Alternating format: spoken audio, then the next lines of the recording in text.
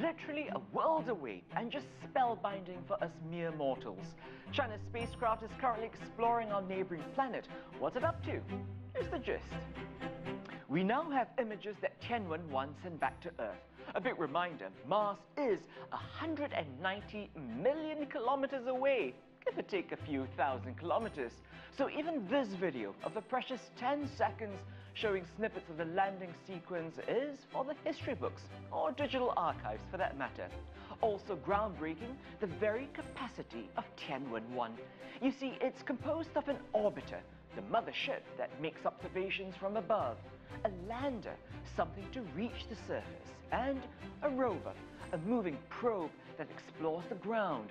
No other mission has attempted all three in one go. Much attention is now on the rover, Zhurong, named after the god of fire in ancient Chinese mythology. Side note, what we call the red planet in English, the Chinese call the planet of fire, hence Zhurong. But back to our rover.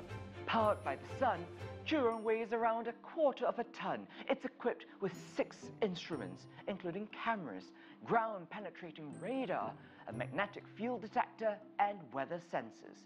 The overall mission is vast, to examine the atmosphere and ground layers of Mars and look for evidence of water ice, anything that could help establish the conditions for life.